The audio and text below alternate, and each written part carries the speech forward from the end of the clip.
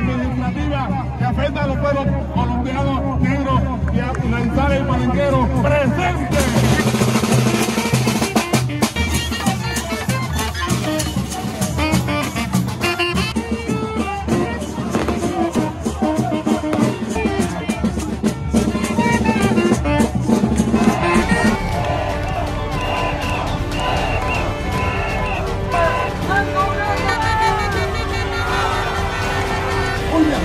Siempre del gobierno.